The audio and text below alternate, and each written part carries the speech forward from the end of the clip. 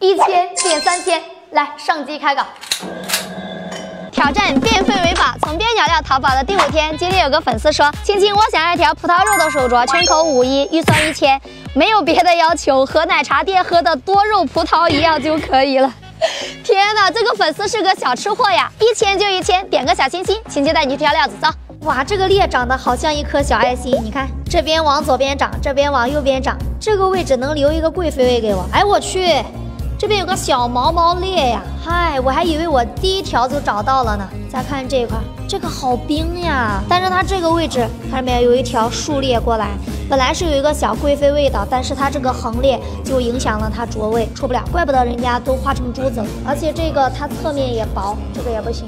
这边飘花的，哇，这浓紫好看，还有这边白色的，诶，这块可以哦。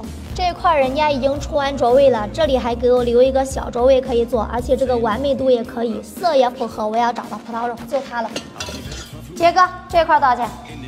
这一块一千五。天，你这是认真的吗？你不是在这玩游戏？你记得那么清楚？便宜点给我，八百，我就要这一点。八百。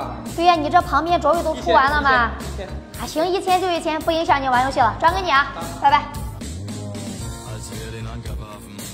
啊，着位已经画好了，它这个位置呢纹裂太多了，肯定是不能用的。我选的这个位置呢，要颜色有颜色，就是粉丝说的那种多肉葡萄。而且你们听啊，这个声音真的是种很老的。这条起货出来，一定是一条又冰又绿的贵妃装。走吧，现在拿去加工。